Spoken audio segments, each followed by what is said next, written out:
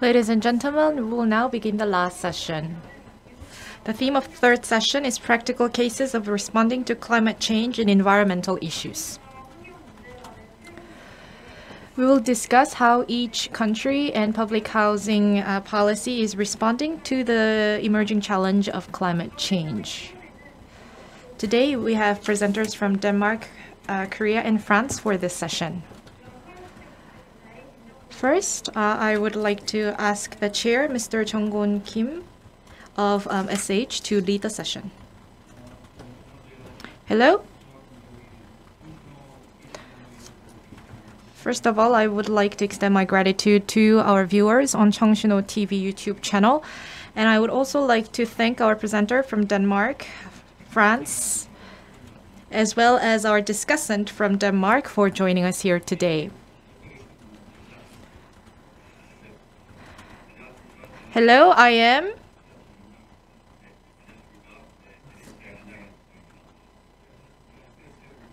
Hello, I am Ogunu. I am An Jang-hyun of SH. The topic for this session is climate change and environmental issues. Today, we have presenters from Denmark and Paris who have set examples in their climate change response. And also, we have speakers from Korea Land and Housing Corporation LH, as well as a presenter from SHCC, Seoul Housing and Communities and Corporation. So I believe that this will be a very meaningful session for us all. Uh, we will not hear the presentations as they have been uploaded on YouTube. And if you need to jog your memory, then uh, what we're going to do is I'm going to provide you a very brief summary of the presentations. And then I'm going to ask each presenter to introduce yourself and uh, your affiliation. And also, I would like you to give us a summary of your presentation. And then I will ask the discussant to uh, make comments about the presentations and also ask questions to the presenters. Then we can continue to exchange opinions among the uh, presenters and the discussant. There were four presentations as part of this session. And there was an unfamiliar concept uh, for Korea in one of the presentations, and that was circular economy, presented by Denmark and also Paris. For those of you who are watching us on Cheongsinho TV, you may not be familiar with what the term means, so let me briefly uh, explain what circular economy refers to. Ellen MacArthur Foundation of the UK began the concept of circular economy, and the Netherlands has implemented the idea in its urban planning. And also, a lot of European cities are using a circular economy as a concept to respond to climate change and to achieve uh, net zero carbon. This basically means that the inflow and the outflow of resources should be managed in order to reduce the consumption of resources and to reduce the output of any wastes. So this is really to reinforce the metabolism of the city. And this concept has been applied to a lot of different cities. And so that's why we have this idea of circular cities that we see across the world. I heard all the presentations myself. The first presentation by Copenhagen. Uh, now, this city is one of the very first cities to achieve carbon um, neutrality. And it has a target to achieve carbon neutrality in the near future. And uh, they introduced the roadmap for the future. And And also the existing stocks represent more than 70% of the uh, total uh, buildings, and especially in terms of the circular economy. You also talked about a lot of projects that you engage in. Also, you emphasized the importance of governance. So I was very impressed by that presentation. And uh, my presenter sitting on my left from um, LH presented on the Green New Deal policy announced by the Korean government recently. So he gave an overview of the Korean New Deal and what LH is doing for green remodeling based on some real case real life projects.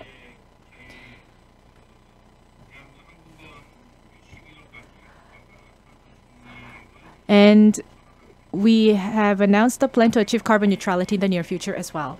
And next, we had a presentation from Paris Habitat, who talked about ecological transition, which is a hot topic around the world these days. Especially, one of the most impressive points was the U uh, was in relation to the UN Sustainable Development Goals and the projects that are carried out in relation to these goals. Climate response is one of the UN Sustainable Development Goals, uh, achieving post carbon city and uh, connecting this with the idea of urban regeneration. So I could see um, a lot of impressive uh, accomplishments on the Paris side. And near the conclusion, the green uh, remodeling project at the end of the presentation was also very uh, impressive and also easy to understand and circular economy by Madoichi and various programs, platform models have been introduced.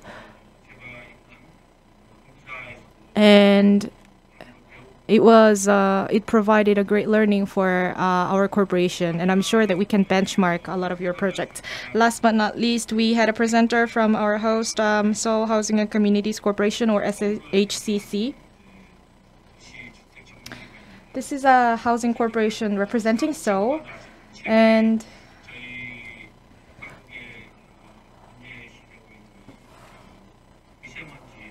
His presentation focused on the response to fine dust issues, which is a big problem in Seoul. Recently, smart technologies and green technologies have been converged um, in our fight against the fine dust.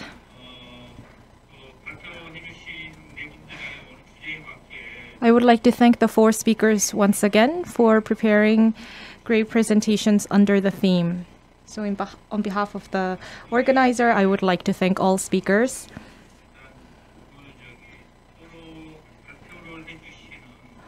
And I would like to ask Øystein Leonardsen to begin by introducing yourself briefly, as well as the organization that you work for.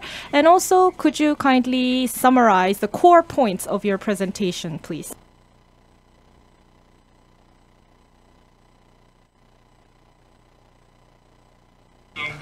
But uh, uh, Mr. Leonardsen um, left, um, so we will first hear from the Bernard Bret.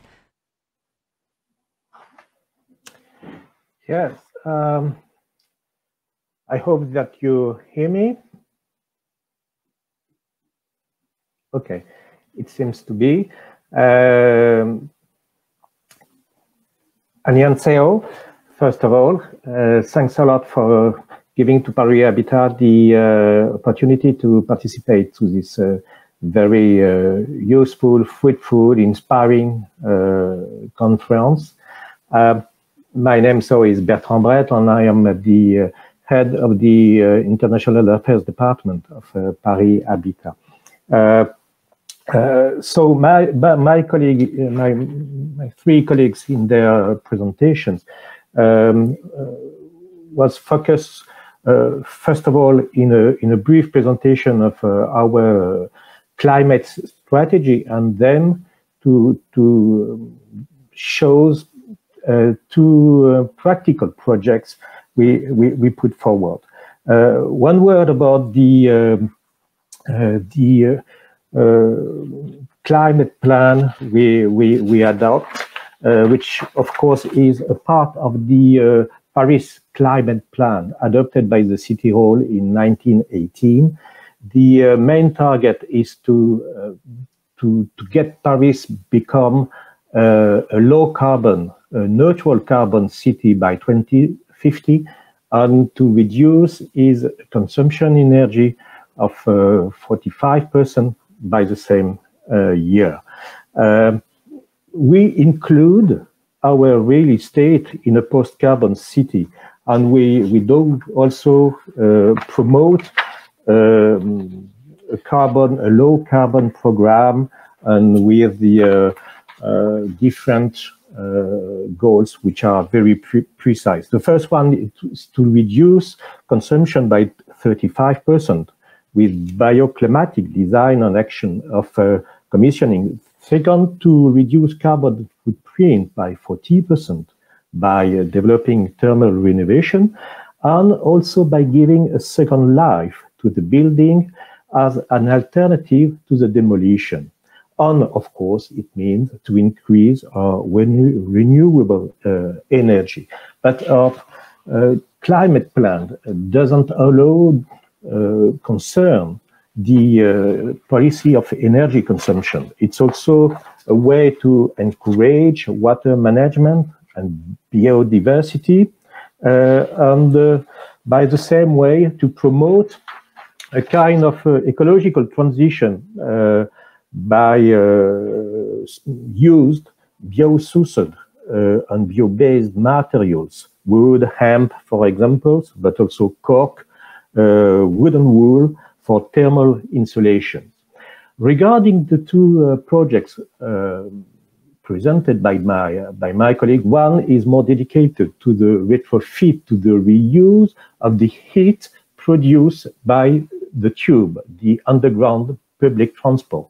And we work hand in hand with the uh, uh, public transport, Paris Public Transport Company, uh, to, um, to reuse the heat produced in one of the uh, railway station uh, and to put it in uh, to to use it in one of our building in addition of with the city heat system. It's very innovative, very performant, and which is also very important, very cheap, uh, for our tenants because uh, it is also one of the aim of such an innovation. It's to reduce the, uh, the financial part of consumption paid by our tenants.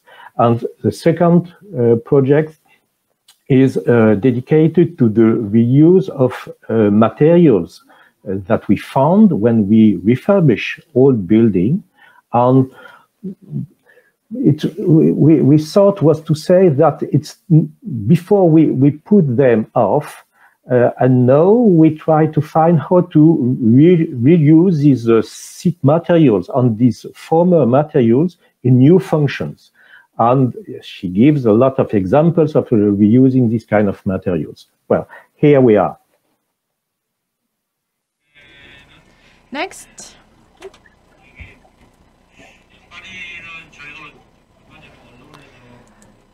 Now, in relation to Paris, we saw on the press about how you are creating um, farming land, uh, farming sites on the rooftop and turning your city green, and that was very impressive to see. And next,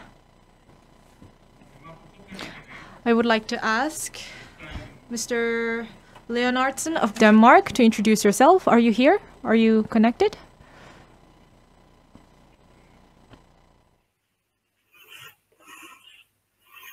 Hello and uh, good afternoon in Korea. It's early morning in Europe.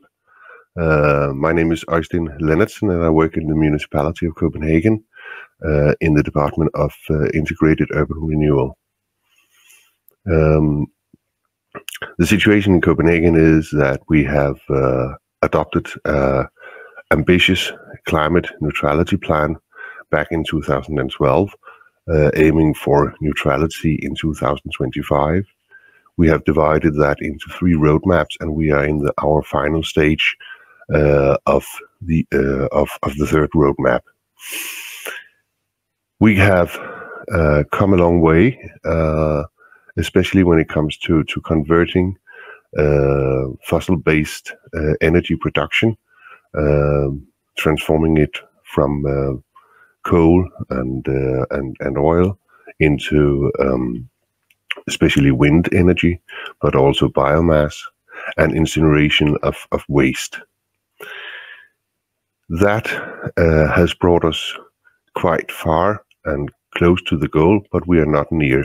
But we will not be able to to to to to um, to meet the goal unless we also look at how we uh, how, the consumption of energy is, and especially engaging the citizens in this transformation.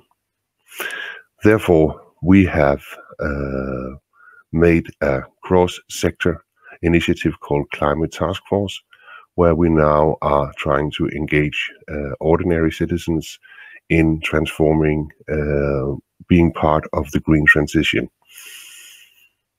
When it comes to the more vulnerable areas, uh, the more disadvantaged areas, there's also a social issue. So we are also focusing on having what we call a just and fair green transition.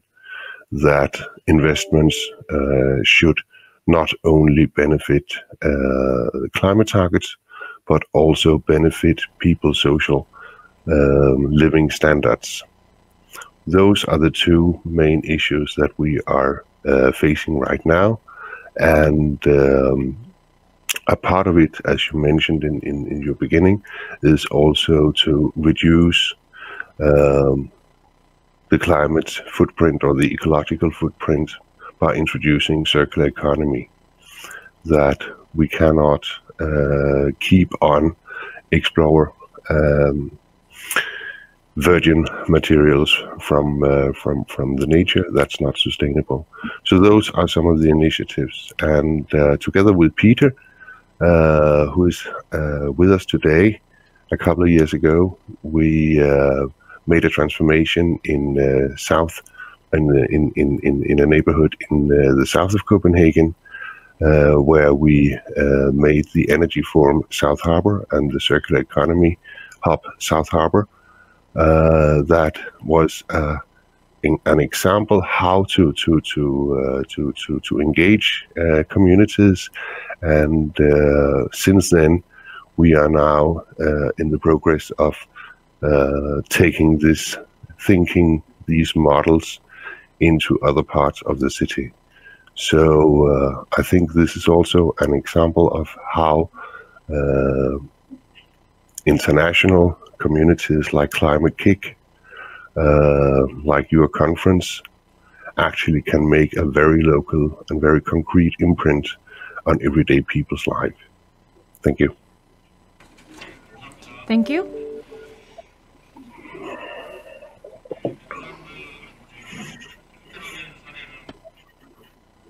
The example of Copenhagen was uh, widely introduced in Korea as well. And we learn a lot uh, by actually visiting Copenhagen as well. I look forward to future exchanges of ideas as well. Next, I would like to introduce our Korean speaker from um, LH, Jang Hyun An. Shall I begin? Yes, please.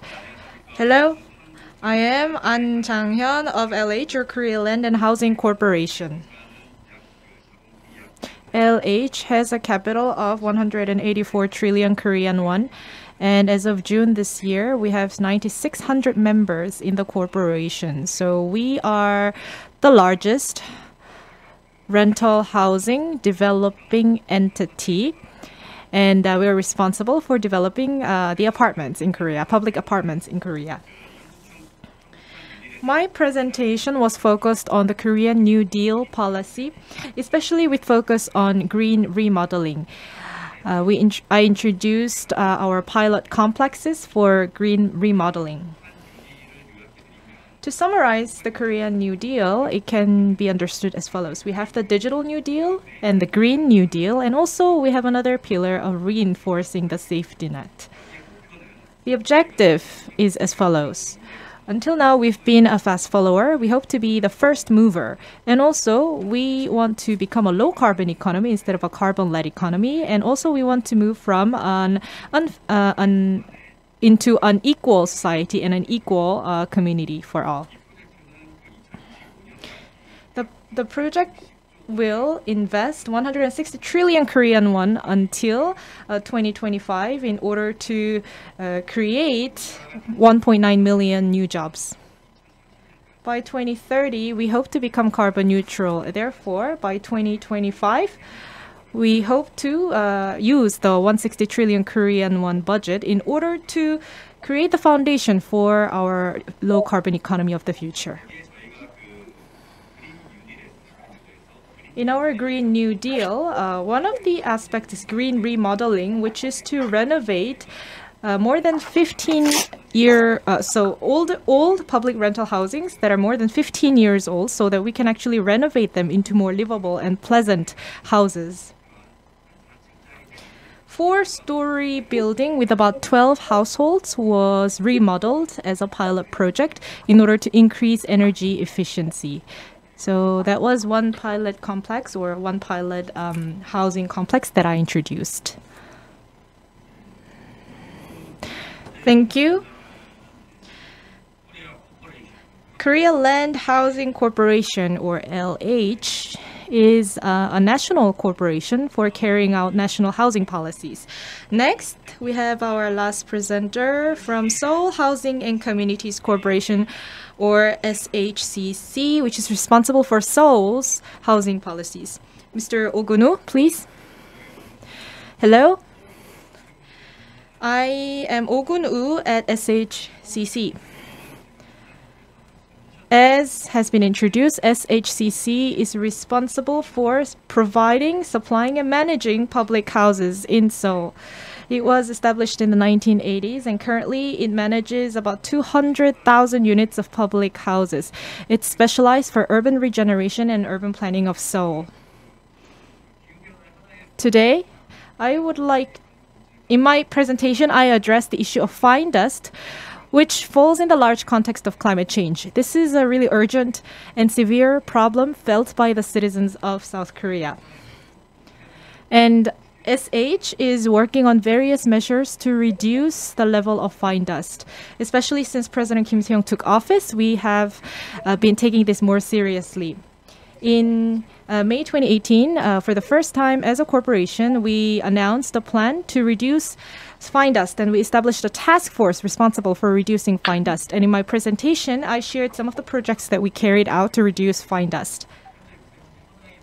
I uh, presented about the current status as well as an overview of fine dust in Korea and uh, some of our policies, including physical policies, chemical policies, as well as biological policies. And also, I introduced some real life examples of these policies.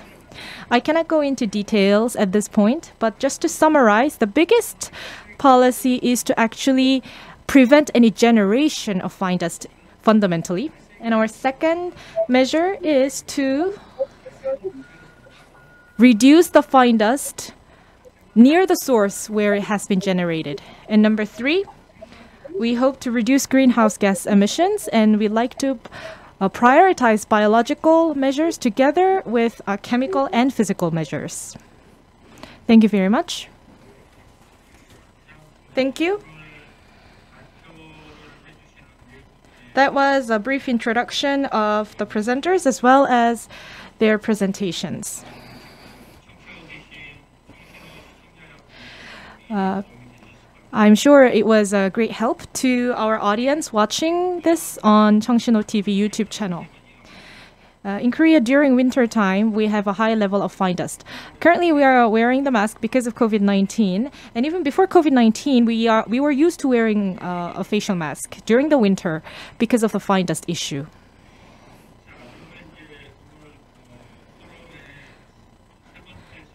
Now, let us start the discussion for session three.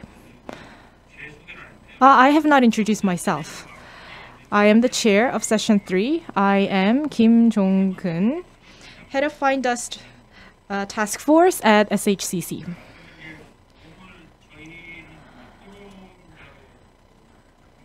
We have uh, one discussant for this session from Denmark, from Embassy of Denmark in Korea. We have Mr. Peter Norman Vangsbo, who is joining. It's a pleasure to meeting you, um, everybody. My name is, is uh, Peter Norman Vangsbo. Besides being an air pollution specialist, I'm also having the privilege to be both working together with Paris Municipality and Copenhagen Municipality. I'm currently located here in Korea, in Seoul, where I'm heading the Danish uh, Innovation Center at the Danish Embassy. What what of the target we are are uh, dealing with is trying to promote new demonstration projects in cities, try to work specific on practical cases where we can demonstrate new technologies, working specific on energy retrofitting, on circular economy, and and uh, sensor technologies to to measure air pollution. So let me uh, uh, start the the discussion um, from from Øystein uh, in the from the city I originally come from, Copenhagen. As Øystein is, is mentioned, uh, Copenhagen municipality are planning to be the first capital in the world to be CO2 neutral in 2025. It's a very ambitious target. It's also a very challenging target. It's only five years away. I know Copenhagen municipality are facing um, very difficult um, measures to, to reach that target. So you, Øystein, um, please allow me to ask you, how do you measure your CO2 reduction potential when you're doing energy retrofitting in South Harbor? Well, um, we we have a, a, a common agreement with the utility companies. So uh, one of the um, sort of the, um, the more nitty gritty is is uh, to to uh, achieve uh, um, an agreement with the utility companies on uh, providing data. Uh, a data-driven uh, change, I think, is essential. Uh, so uh, we had made um, a first agreement with the two main utility companies, the one that's providing central heating, sorry, district heating, uh, and uh, the electricity uh, utility company um, on on creating a baseline for South Harbor. We are now taking this method into the city and spreading it in in new neighborhoods. Um, and uh, making a baseline makes it possible to to to to also uh, measure change we have also uh, experimented with more detailed um, sensors uh, in apartment blocks. Uh, there is uh, quite a difference between um, the knowledge you get from uh, the central system and then you get what you get from a more distributed system. I uh, I know you well. I know that you have uh, Viking blood in you in your veins. You hunt where the gold is. And so when you're doing your work, do you uh, prioritize uh, the refurbishment initiative according to return of investment, or do Copenhagen municipality prioritize the low-hanging fruits according to capture as much as CO2 uh, reduction as possible. Well, I, I, I, don't see that there necessarily needs to be any conflict between the two. Um, I think we, we, to a certain extent, we have have uh, picked most of the low-hanging fruits, uh, and that we are now challenged with the very difficult and more complex issues. Uh, apart from from from uh, from housing, uh, also mobility uh, is a, a, huge energy consumption um, or and a CO2 emitter. So uh, what we are now looking into is also how can we provide um, electrical infrastructure uh, changing from from uh, petrol-based cars and vehicles into electric is not only a matter of people buying different uh, vehicles, but also that there is uh, uh, uh an infrastructure uh, for for uh, loading the new the, the new vehicles. So I think that's one of the things where we we actually also need very much the the citizens' engagement because central petrol stations uh, large companies can make, but if we have to have distributed electrical um, uh, supply for for cars, it will often mean that it is more individual or small owners that shall uh, put it up. So uh, that's what it makes it more complex. It's not easy, but it's easier to to make a deal with Shell or with British Petrol uh, than it is to to to to make a, a, an agreement with. Uh, we have currently, I think, more than seven thousand five hundred different individual uh, apartment uh, associations in the city. Uh, so you have to make individual uh, agreement with that. So I think that's one of the challenges. and yeah, I think I'll stop there. but I also know you have uh, your your height, uh, your heart in the in the right place. Perhaps you are, are soft like him. And when you're working uh, in the um, poised neighborhood in Copenhagen, I understand that the municipality are also enforcing you to improve uh, quality of life, create uh, job creation locally. Can you try to elaborate a little bit on, on how you have been um, improving life quality and engaging the local community and in, increase the local jobs uh, for, for, for marginalized people in, uh, in, in South Harbour? Yeah. Um, when it comes to retrofitting and, and, and energy consumption, um, indoor climate uh, is uh, and thereby also livability uh, is is uh, is strongly connected. One of the big mistakes that were made in the late 70s and the beginning of the 80s was to insulate, uh, but without thinking of the of uh, of the the local environmental consequences in the houses. So we had mold uh, we had uh, drought. We had uh, also often more dark living rooms when you insulate. the, the the windows will be smaller. Uh, meaning there will be less daylight in, in the apartment. So uh, uh, we have tried over the years also to, to, to look more into what is the living conditions inside the flat uh, not only on the energy consumption itself. And it also shows that if we have a combination of uh, having these more technical uh, energy um, um, uh, transformations or, or retrofitting, uh, and also engaging uh, those who actually live in the or work in the, in, in in the buildings, we can have a far more um, uh, impact on, on, on both energy use and also on, on climate impact and uh, on people's uh, uh, spending, that, that uh, we lower the costs, uh, which uh, energy cost can for high-paid people be pretty marginal, but for marginal people, energy cost can be an issue. and we have in South Harbor, uh, you and I, we uh, made the uh, the the hackathon or, or the the uh, the challenge of of uh, giving local uh, entrepreneurs the challenge to say, now we are in the process of of changing this community. How can this be accompanied by local businesses as well?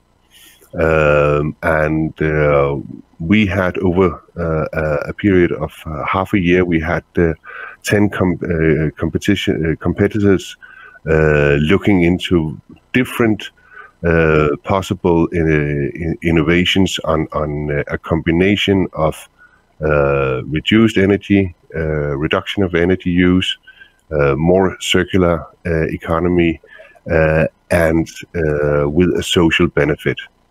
One of the finest examples of that ended up being an urban farm um, where uh, instead of transporting uh, greeneries uh, around the globe, that could be locally produced. And some of, of, of the functions in such a local farm is uh, is an opportunity for uh, more vulnerable uh, citizens that maybe not can take a, a, a job like the ones we have here. Yeah, I, I can simply not wait until we have a, a vaccine for, for COVID 19 and uh, I can start arranging a tour uh, for uh, yeah. Seoul housing both to Paris and to Copenhagen and to show the, the unique uh, demonstration site that you have you have been working with. It's, it's absolutely fantastic what you have been doing, engaging uh, communities, engaging researchers, and engaging the private sector in, in, in Copenhagen municipality, we, we call you the king of South Harbor. So imagine you, if if you would be uh, if you would be uh, the mayor for the day. One one day you will wake up, you will be the mayor of the day, just for one day. What uh, what would you do, and what uh, would uh, your kind of uh, recommendation for Seoul housing be? Well, as a mayor, um, as mayor of Copenhagen, um, well, actually, I think our mayor uh, does an uh, amazing job, and and we are uh, retrofitting both in the private and the public sector like never before.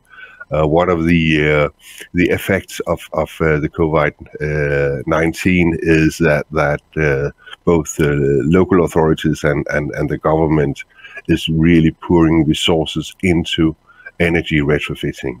What I think if if I should put uh, put more into that uh, would be uh, to to to enforce more uh, cross silo cooperations. It is still very much a silo thinking uh, that that um, that that that that we are not uh, both locally but also centrally uh, cross-sectoral uh, make make cross-sectoral corporations. Um, too many small boxes that needs to be be fitted together. So uh, I would say um, that that would probably be my recommendation. Great. Thank you so much, uh, Øystein. Pleasure to, to be speaking with you again. And it actually lead uh, to a very nice connection to to uh, to the second um, presentation of uh, Jang Hyun An uh, from Seoul Housing. Uh, the whole it's it's uh, in June. the Korean government announced the Korean New Deal, one of the largest globally green and digital investment package uh, it's amazing um, to see how I really look forward to see how it will transition here in Korea. There is a focus on on uh, energy retrofitting of public building and specific on schools. They are aiming to um, to energy retrofit 3,000 schools uh, across uh, Korea towards 2025 the presentation is is highlighting uh, this issue of, of energy retrofitting. But in order for get it running, and in order for us learning from uh, Øystein's recommendation, we do need to knowledge share more. So, Seoul Housing, how do you knowledge share with other housing corporations and cities in, in Korea? I know you are one of the largest. Oh, I'm, I'm sorry, it's not Seoul Housing. I'm, I'm talking about Korean Land and Housing Corporation. So the second presentation, the demonstration project of green remodeling business. My mistake, sorry. So um, Korean Land and Housing Corporation, how are you trying to share your knowledge with other cities and housing associations to scale out accordingly to the Korean New Deal? did you understand my question? Thank you very much for your question.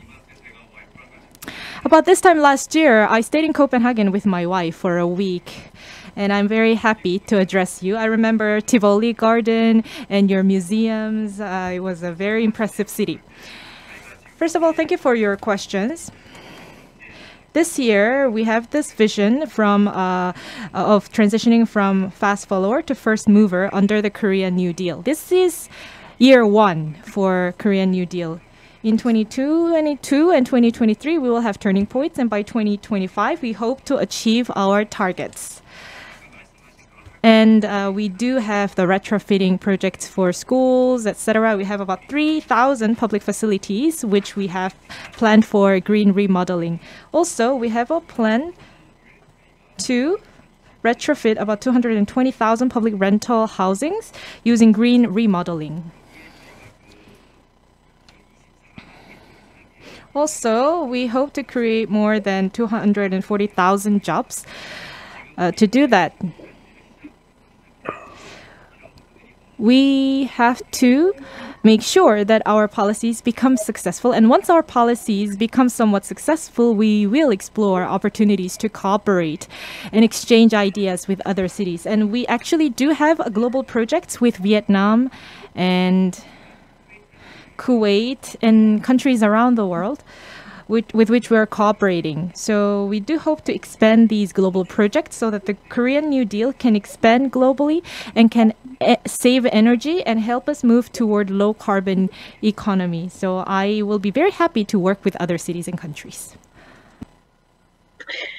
Great. I'm, I'm really happy that the Korean Land and, and Housing Corporation are having that interest and and you are in a very uh, fantastic situation. In this forum, we have two of the first mover economies in Denmark, with cities, specific Paris and Copenhagen.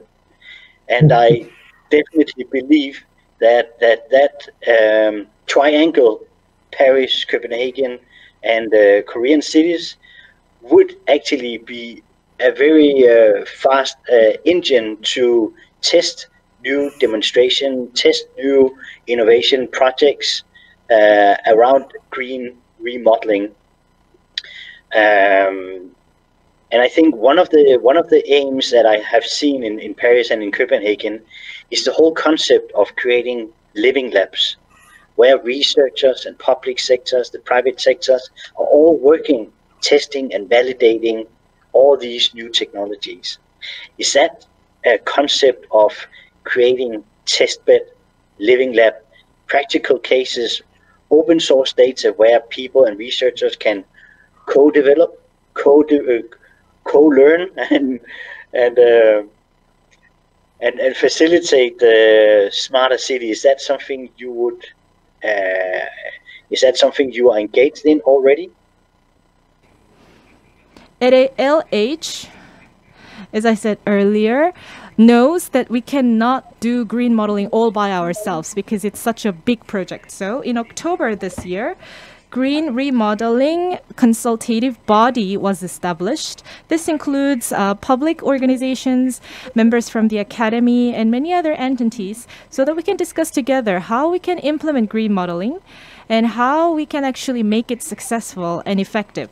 So we continue to do research and discuss on this topic so that we can uh, make our green modeling successful. So that's why the consultative body was established. It brings together KDI, the University of Policy from the Academy, and also we have Korean Architects Association, and also we have Korea Social Enterprise Promotion Agency, and we have Korea Energy Technology Validation Agency. So it brings together a lot of these entities together so that we can work together on this front. And I have to ask, um, now listening to Øystein's uh, presentation about engage, uh, engagement of the, the civil society, how do you develop the projects uh, with input from civil society, NGOs? Um, or is that something you do? Yes. Uh, So we do engage the public sector, the academy, uh, through consultative body. As for civic engagement, we are currently exploring how to bring about more civic engagement. What we can do is we can leverage social enterprises to bring in civic engagement. And another thing we can do is uh, Korea has local governments. For example, Seoul Metropolitan Government, Gyeonggi Provincial Government, and then there are the municipal governments under provincial governments like Gyeongin, uh, Gyeong, Gyeonggi City, etc. And each municipal government can uh, can go ahead with their own green modeling remodeling project. So LH and city governments sign agreements so that we can exchange opinions and ideas, and also we can provide training and uh, know-how transfer.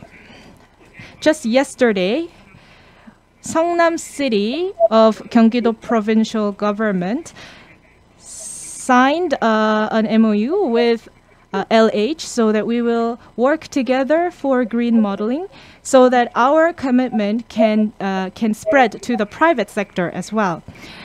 For example, we have a green remodeling center and this center does not directly support the private sector in green remodeling, but rather we provide about 3% uh, subsidy in the interest rates for the private sector. So we have these uh, ways to uh, incorporate the private sector so that they can work on saving the energy and this benefit can be returned to our citizens. As such, engagement of the private sector is uh, one of our focus areas, and we provide these uh, budgetary and other support for the private sector. Great, thank you. And my last question to you: At your last last slide, you are you are saying that you want to to conquer the world with dreams. About dreams, besides a wish for 2021, besides uh, having a vaccine for COVID-19, what do you what do you hope that um, green uh, remodeling um, for for for LH um, could facilitate? What What is your big dream for 2021? Yes, as I said earlier, this year is the beginning of our green remodeling initiative we invested about 17.6 billion Korean won as a matching fund. So we have a 5 to 5 ratio between us and the government. So we invest 17.6 billion and the government also invests 17.6 billion. Next year we will have a much larger budget, more than tenfold what we have this year to uh, push the green remodeling initiative. So this is only the beginning. Due to COVID-19, we are facing a difficult time, and we saw how a pandemic can shut down the economy. And I know that next year will also behold a lot of uncertainties for us. However, we remain hopeful. We continue to have this dream and commitment so that in five years' time, by 2025, we will be able to achieve our targets by investing 160 uh, trillion Korean won uh, and also uh, hundreds of thousands of new jobs. The Paris Great. Climate Change Agreement stipulates that 64.5 tons of greenhouse gases have to be reduced in the area of buildings. This is an enormous amount of reduction. However, I'm sure that this can happen uh, with our commitment to reduce uh, emissions in houses starting from houses and moving on to bigger buildings as well. And that will allow us to achieve the target of carbon reduction under the Paris Climate, um, uh, climate Agreement. And Copenhagen, Paris, and Korea can work together and share knowledge in order for us to become closer to our dream. Thank you. 감사합니다. Uh, thank you so much. Um, Paris have shown the world how to do it political, architectural, urban planning. It's amazing. It's amazing to see what journey Paris municipality have been, been doing the last many years. You've been through an ecological revolution and is one of the capital in, in Europe leading the way on circular economy, urban refurbishment, and many other sustainable uh, pathways as presented in your uh, in your very uh, good uh, presentation. You're working in in very elegant uh, footprints of your Lord Mayor, Annabelle Hidalgo. She's a very uh, influential uh, voice in that transition of Paris. Can you perhaps elaborate a little bit about what role your Lord Mayor have played for Paris Habitat and uh, the transition she have done, not just in Paris or across cities in in France, but actually for for the world as being a chairman of C40. Yes, thanks a lot. Well, uh, first of all, thanks for all these compliments, but I would like to share these compliments also with a lot of other cities which are like Paris, like Copenhagen, like Seoul, and so on, uh, also that put forward the uh, the fight against the uh, the the global warming. Reg just regarding the the Paris policy, of course, I'm not really a, a spokesman of the Paris uh, municipality, but uh, I, I, can try to uh, to make an effort and to, to to be for once what I am not really. the um, the involvement of the uh, the local government is first of all an old one because it was in fact prepared in a way by the former uh, mayor, Mr. Delanoë, and then it is true that Mrs. Anne Hidalgo, uh, how to say, uh, put uh, her feet uh, on the speed about this, this matter. Here is what is a kind of Bible uh, about the uh, climate uh, action plan. This is the Paris Climate Action Plan, who has been adopted in May 2018. You can easily find it in uh, Google if you just uh, put Paris Climate Action Plan and you will find the, the English uh, version easily. the main idea is to make uh, Paris greener and to make Paris uh, resilient and inclusive, a carbon neutral and 100 renewable energy city by 2050. Uh, all these items are as important, each one as each other's, because they are uh, gathering what is a sustainable development policy, which is not only uh, an issue of energy consumption or, or, low carbon policy, but that includes also um, all uh, that is a sort uh, of jobs, of good quality of life, of improvement uh, in the uh, living uh, environment, in the good quality of production of buildings, and and so on. so just to give you some concrete targets, by 2050 to make Paris a zero local greenhouse gas emission, uh, to reduce 80% of the Paris carbon footprint, footprint uh, to uh, get uh, Paris 100% uh, renewable energies, and to reduce the, the energy consumption by 50% through all the territory. Here are the, the main goals and uh, for uh, 2050, and there is um, how to say a stopover done in which is planned for 2030, and just to see where are the results in reaching the, these goals, and after to, of course, adapt the climate plan according to the result that uh, we, we will be in, in 2030.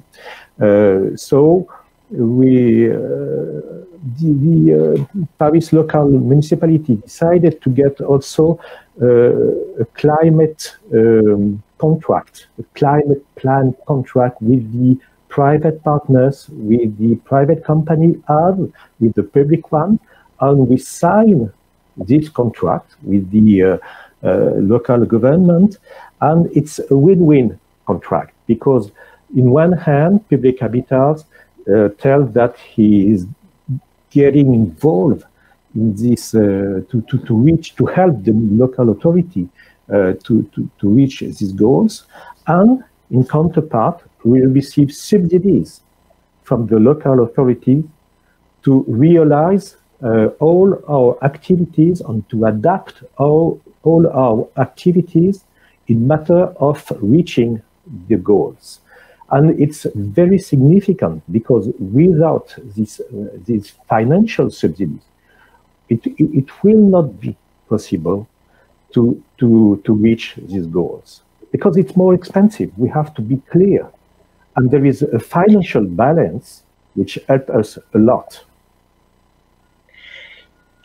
Great, uh, Bertrand. Thank you so much. And it, it, it's leading to, to, to, my, to my next question because the, the finance is, uh, is the engine behind making this transition.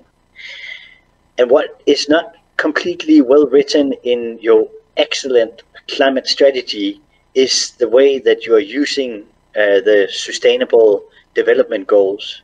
In your presentation, it's very clear.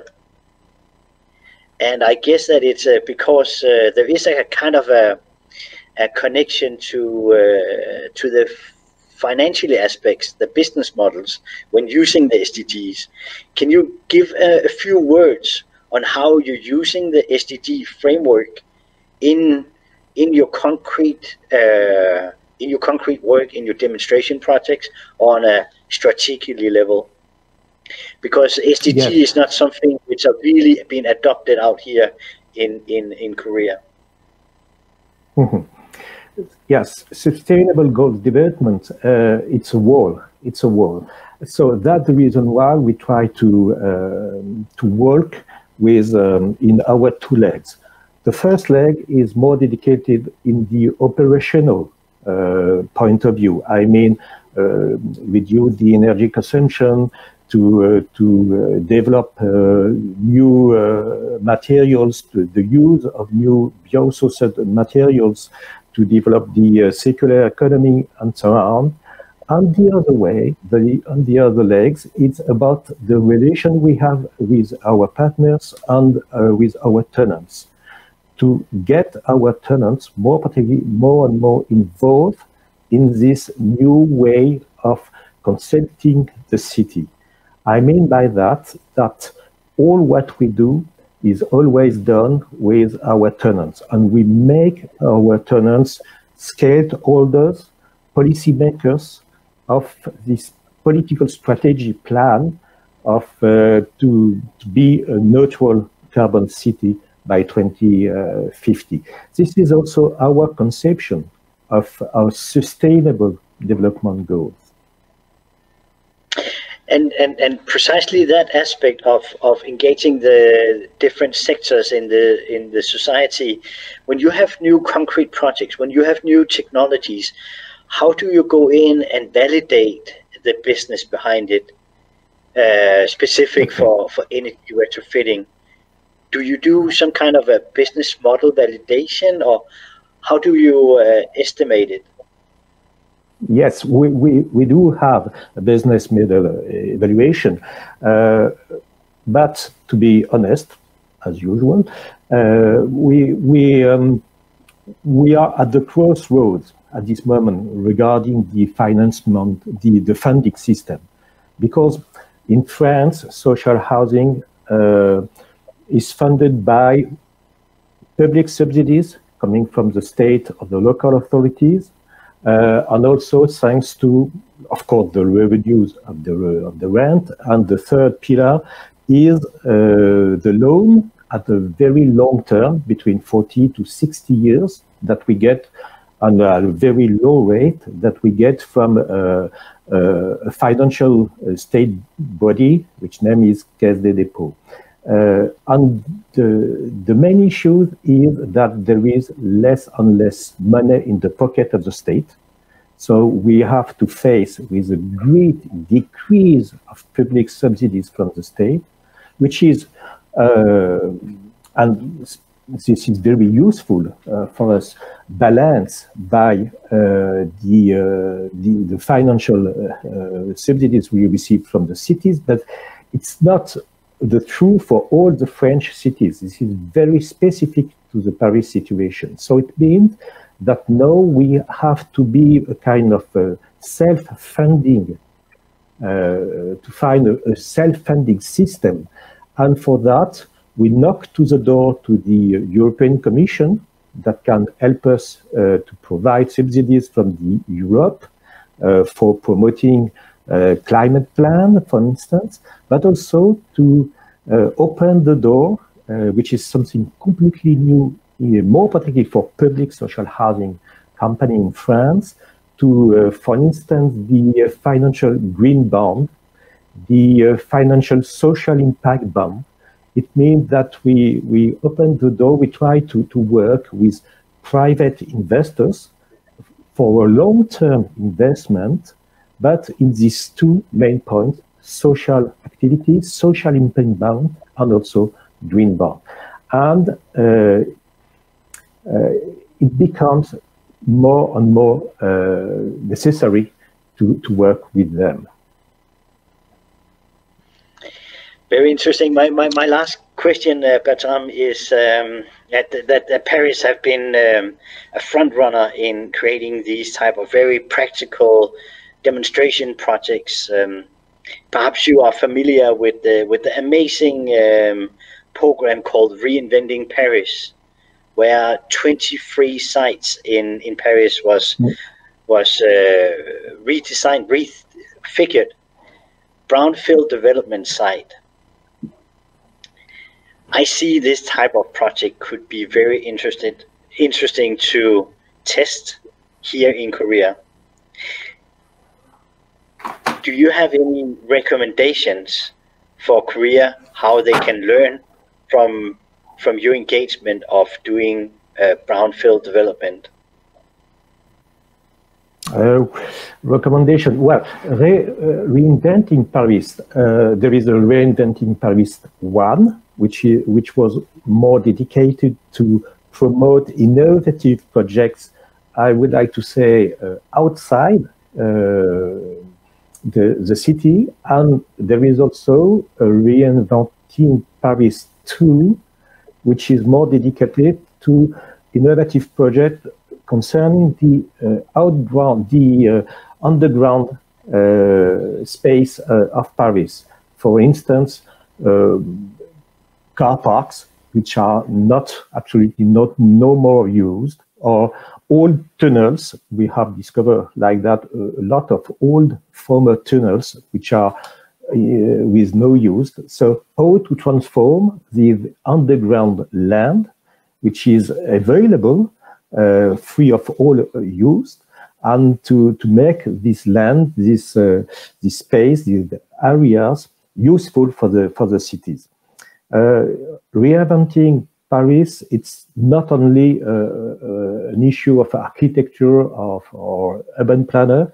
The, the idea was to create a concept which is innovative in different items. It could be management of the construction, the, the waste emitted, uh, the material used, the energy consumption, of course, and also to create a kind of a new way of living.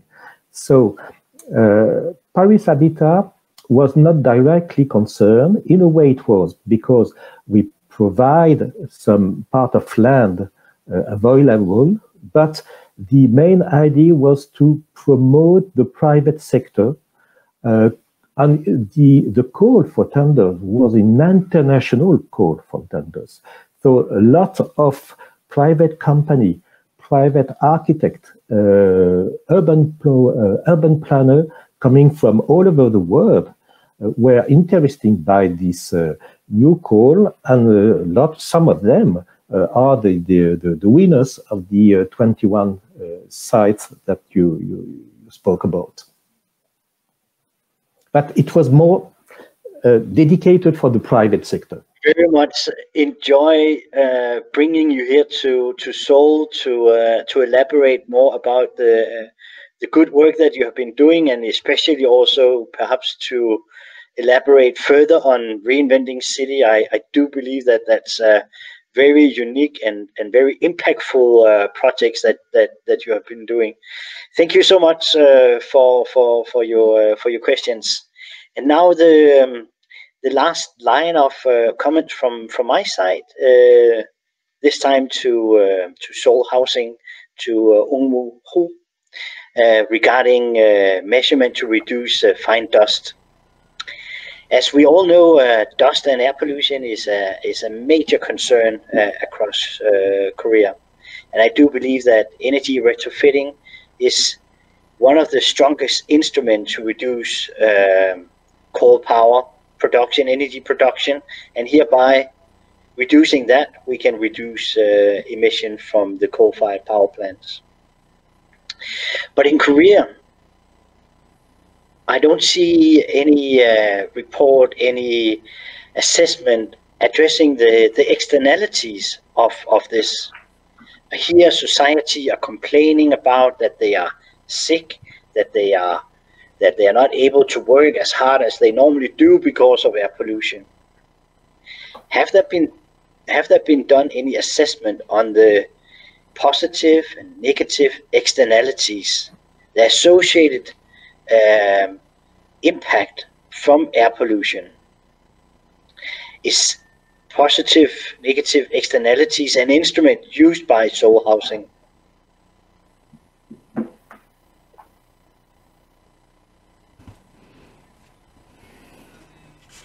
Thank you. Research and studies on air pollution are carried out by the Ministry of Environment and other research institutes to find out about externalities, especially in terms of impact from outside of Korea. As for ourselves, SHCC, uh, we recognize that externalities are out of our control. So what we can do is for Seoul Metropolitan Government and SHCC to implement policies to reduce emissions in our urban construction and reconstruction projects. Uh, as you said, once we save energy through green remodeling, we can mitigate climate change and also we can reduce fine dust. So that is an approach that we have in zero, uh, zero carbon and energy housing project, and also we have also we have uh, concerns about reducing fine dust and reducing energy consumption through our projects. And one of the ways to do it is to reduce dust and fine dust produced in the construction sites of our public rental houses. And that is why we establish fine dust reduction policies that are in place currently And and precisely the, the, the dust in the construction sector, is that something you perhaps can elaborate a little bit about? Both dust, but also uh, greenhouse gas emission. Studies in, in Copenhagen have shown that uh, that the construction sector are contributing to around 6% of the all CO2 budget for the city. In Oslo and Stockholm, it's uh, around 10 to 12 percent. CO2 emission only from the construction sector.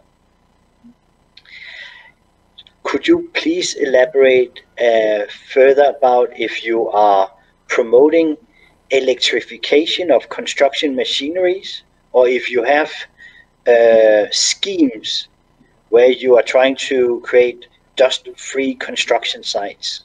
Is that something which are in place in in uh, in your sites?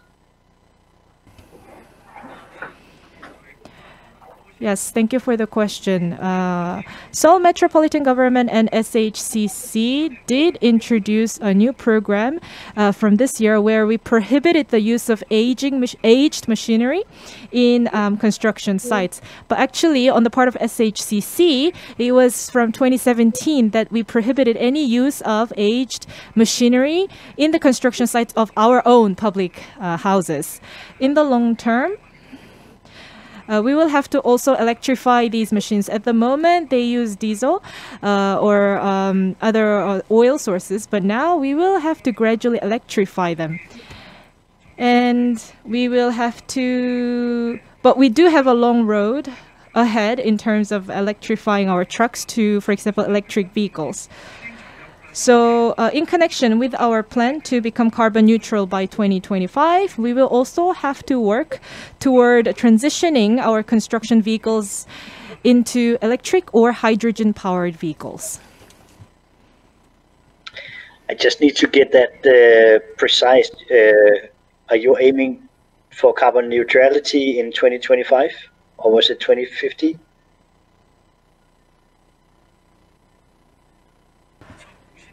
Uh, by 2050 by 2050 we uh, will we have the target to uh, achieve carbon neutrality and this was announced by the Moon administration. So it's by 2050 not 2025 yes, yes. Um,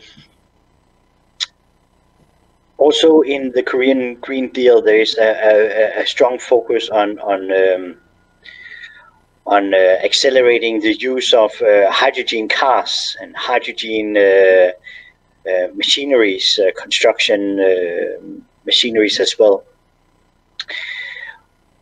I can see uh, from around Europe, uh, cities have been working a lot with the green, circular, sustainable procurement.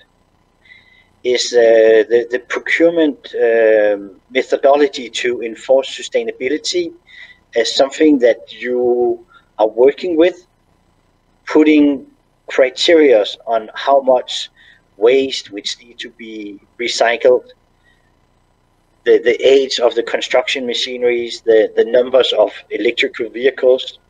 Are you using in your tender material, uh, are you trying to enforce sustainability in, when you are calling for tenders?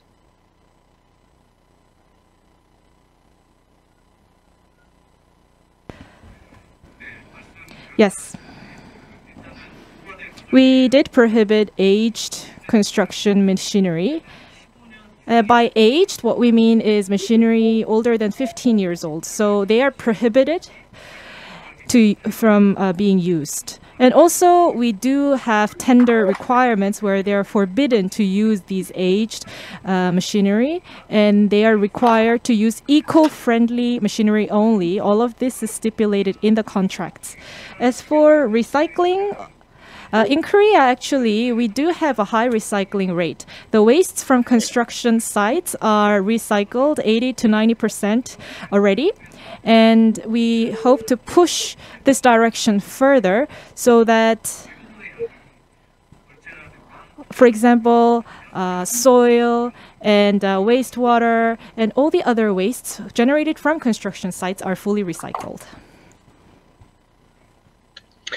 And just for, for us to, to understand the, the political framework for, for your development projects, um, the, the, the requirements for an environmental impact assessment, is that, um, is that a strong political instrument for you to push a green agenda?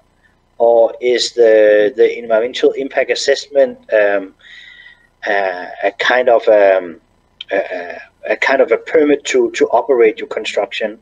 How do you how do you uh, use the, the, the EIA instrument as such when you are doing massive uh, energy retrofitting projects or, or, or new construction?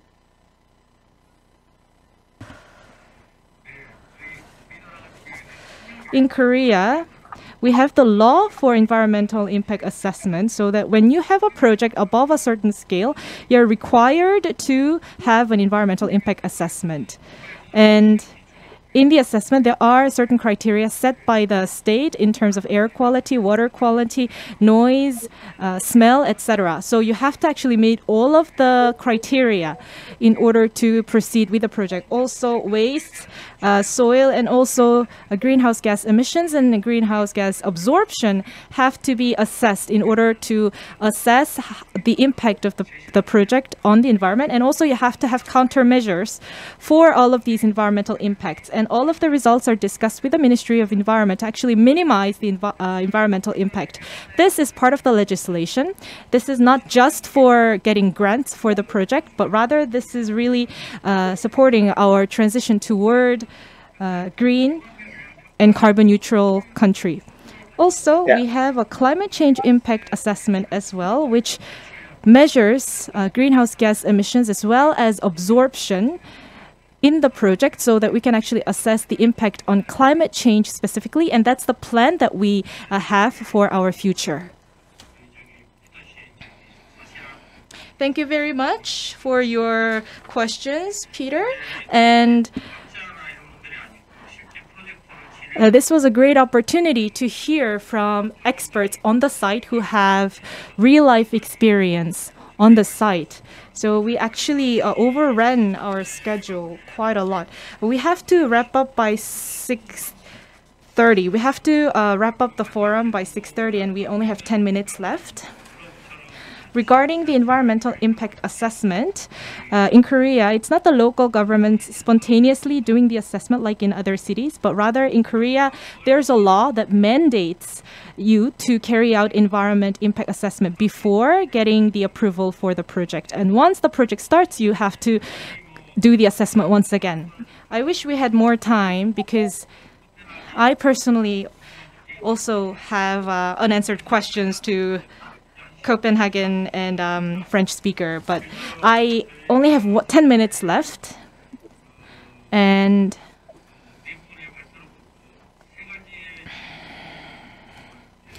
after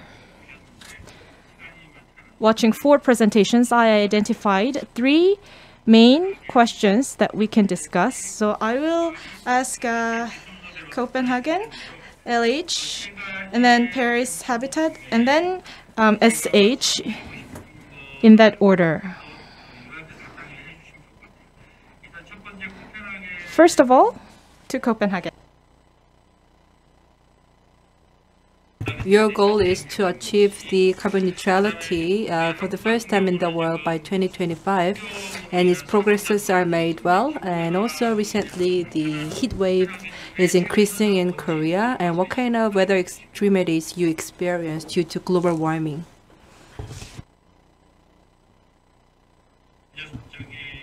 Since we have some technical problems, uh, so uh, we would like to hear first from the Paris Habitat.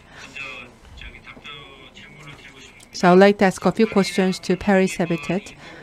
So the Paris has a goal to achieve net, uh, net zero by 2050, and a lot of efforts are now currently underway to achieve the target.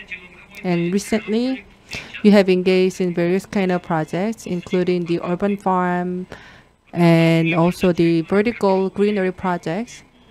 So can you please introduce some new projects that have not been uh, pronounced yet? Or that are not in the action plan?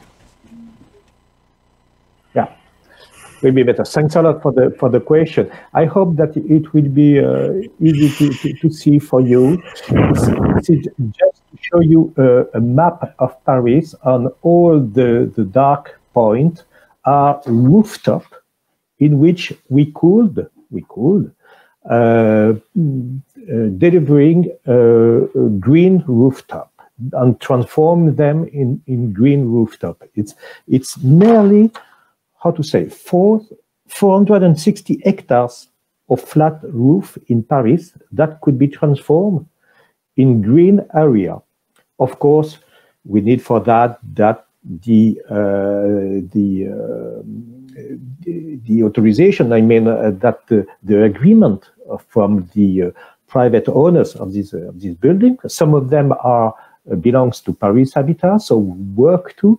And just to give you an example, that urban farming, green rooftop, uh, is something which can be very concretely developed quickly in a way in Paris. We still have uh, in Paris uh, Habitat nearly 25 rooftop which are dedicated for urban farming.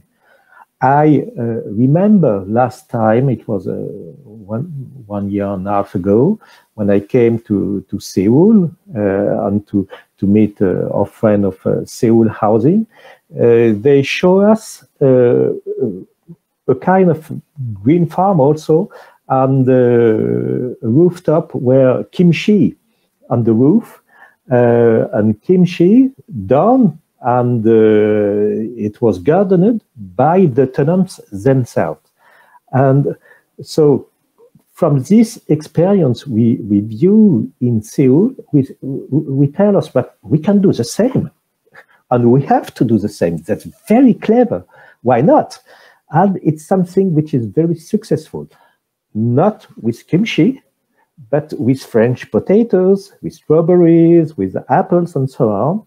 And, and it works very, very well. So um, it's not directly in our climate plan, but it, it is included in the same way, in the same strategy to produce, to make the city greener, and by the other way, to help our tenants to become their own producer of what they eat. Can hear more examples from Paris, but in the interest of the time, I will have to move on. And also, there seems to be some connection issues. I ask for your kind understanding. Uh, moving back to uh, the speaker from Denmark, please let me repeat the question. So, can you Do respond copy? to the question that I asked before? Okay, fantastic. Um, yeah, shortly. Uh, we have mainly seen uh, um, more rainfall, uh, more stormwater, uh, and we adopted uh, a a climate adaptation plan uh, some years ago, uh, turning uh, the climate change into to uh, to a positive benefit for uh, greening the city. Um, and and uh, the next thing will probably be uh, combating uh, uh, raised sea level. We are uh, currently planning for a, a completely new uh, city or a, a completely new development in the harbor uh, as part of of uh, um, uh, fencing the city towards uh, the the raise of sea levels. We also, to a certain degree, do see droughts and and uh, more heat season, more heat during summer seasons, but uh, until now, this has not have had such an impact on us as in many other countries.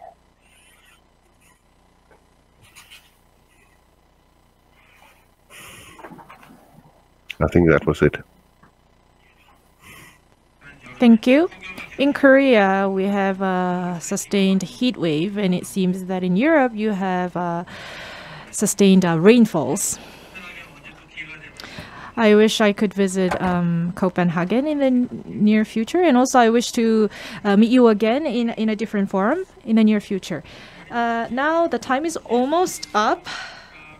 Our speakers from LH and SH, I will ask you to make your last comments before we wrap up this session.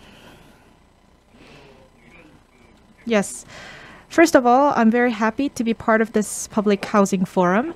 And also, I hope that we can, it was a valuable opportunity for us to exchange our uh, thoughts about uh, public housing uh, in the context of environment in particular. And I hope that this is not just a one off event. We can continue to uh, monitor the progress and continue to have regular discussions and collect feedbacks based on our discussions.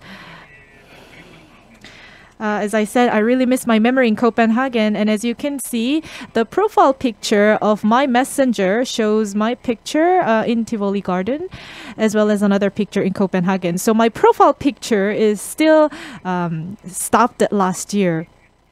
Now I hope that. Uh, our Korean New Deal will continue to develop with this meaningful start, and I hope that we will all work toward a safer and healthier planet. Next, our speaker from SH. Yes. It was good to see you, um, even though it was virtually. I really hope that COVID 19 will, will come to an end so that I can meet all of you face to face. A few days ago, 2050 carbon neutrality plan was announced and Seoul metropolitan city is the capital city of Seoul, and perhaps Seoul metropolitan city can aim for a more aggressive target of maybe achieving carbon neutrality in 2040. So, um, next year we'll have the mayoral selection for Seoul, and I hope that the mayor will announce an ambitious goal so that we can, for example, have a stronger energy uh, saving schemes and also uh, uh, carbon emissions cap system, so that our country as well as Seoul metropolitan city can actually speed up um, our carbon neutrality. Thank you very much. Uh, we're living in the era of COVID 19 where everything seems to have stopped for a while, and that is what made uh, the themes today all the more meaningful.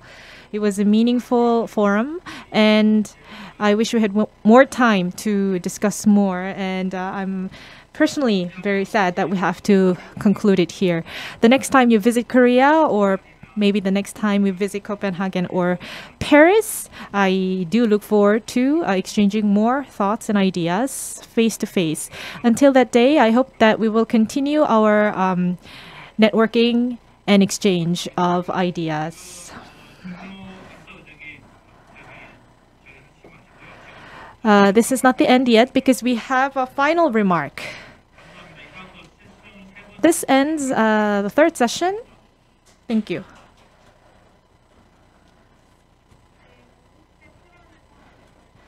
Thank you very much for the participants of session three. Now uh, we are nearing the end of the fifth Public Housing Forum International. It was an opportunity for us to learn about the different examples of public housing in uh, different countries and cities around the world, as well as to discuss for the way forward in terms of public housing.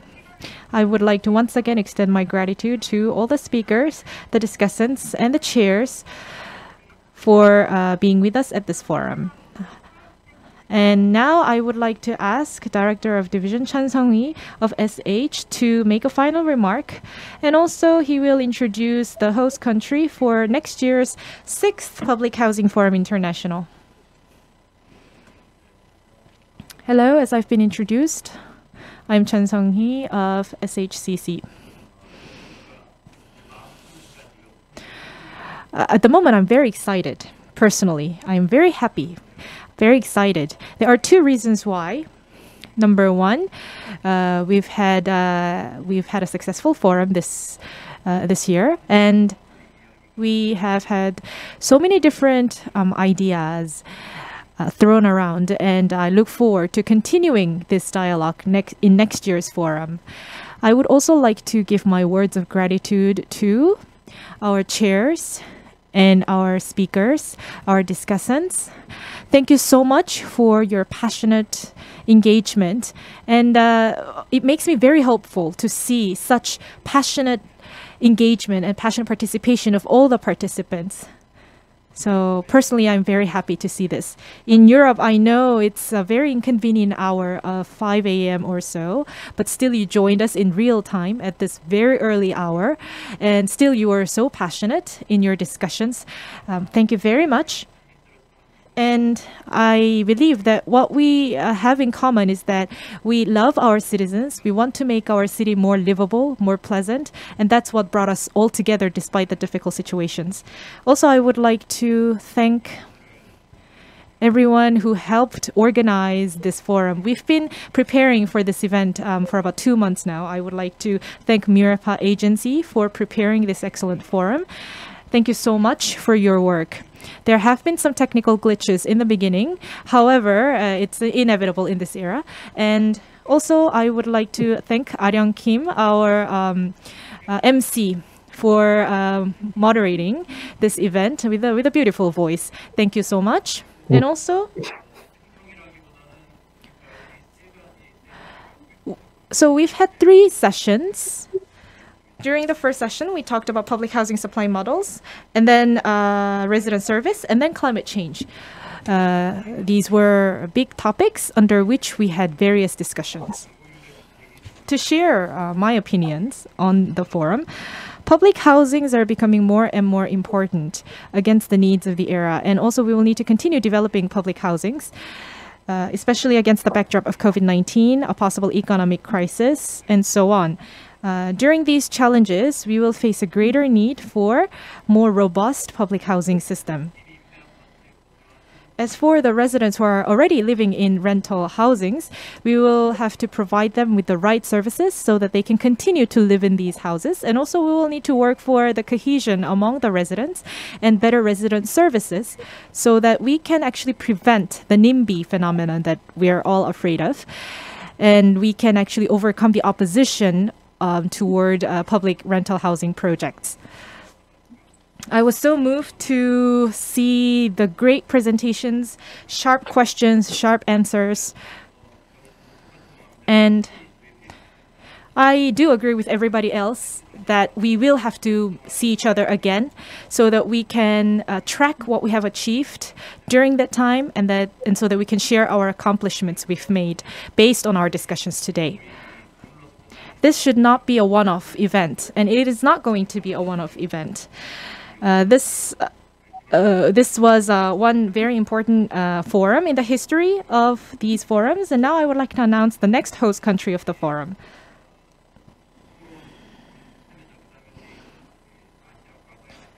Uh, it began with Asia Public Housing Forum, and we collected opinions from all the participating countries, and the final decision of the host uh, country was reached. Now I would like to announce the next host country. Do you have any like a drum drum beat? No. no. Okay. Congratulations to Paris Habitat. You are the next host. No.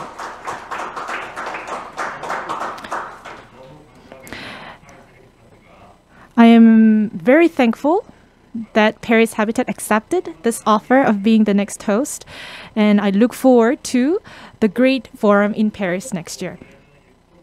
This year, due to COVID 19, we could only see each other through the screen. But next year, I sincerely hope that we will be able to meet face to face. And I hope that we'll be able to actually visit the sites in Paris so that uh, we can see with our own eyes how Paris is responding to climate change.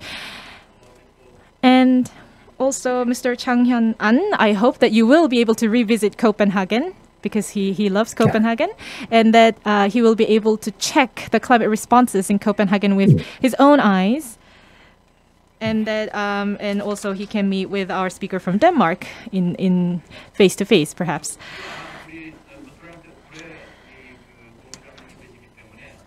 we have uh, Mr. Bret from Paris Habitat. So could you give me some comments about how you feel about being the next host country?